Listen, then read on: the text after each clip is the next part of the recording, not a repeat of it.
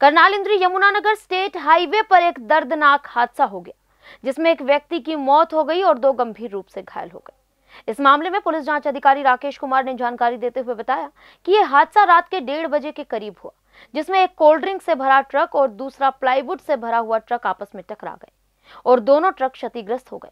उन्होंने बताया कि प्लाईवुड से भरा हुआ ट्रक गलत साइड से आ रहा था, जिससे वह कोल्ड ड्रिंक से भरे हुए ट्रक में टकरा गया। जाँच अधिकारी ने बताया कि फ़िलहाल पुलिस द्वारा प्लाईवुड ट्रक चालक के खिलाफ कार्रवाई करते हुए घायलों को हॉस्पिटल में पहुँचाने का कार्य किया गया है।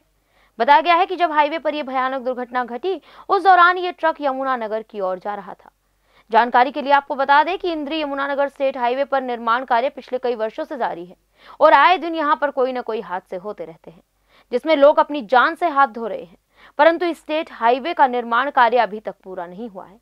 अब देखने वाली बात यह है कि इसका निर्माण कब तक और कितने आदमियों की जानें लेकर पूरा होगा।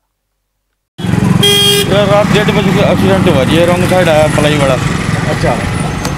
ड्राइवर इस गाड़ी का ड्राइवर खत्म हो गया जी। उनको दो दो गया अच्छा एक की मौत है? एक की मौत है। और घायल कितने हैं? घायल दो। क्या कार्रवाई की जा रही? ये रॉन्ग साइड था। ट्रक ये है पलाई वाला यमुना का साइड गाड़ी।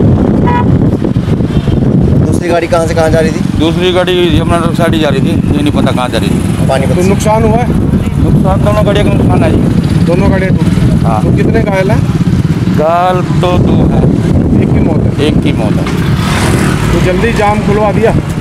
जाम तो खुलवा रहे हैं जी हैं कब तक यहाँ क्रेन बुलाई जाएगी? वो सभी तो आज थोड़ी बहुत देर में आने वाली करें इनको साइड में किया जाएगा? बिल्कुल जी बिल्कुल। क्या नाम आपका? राकेश कुमार जी।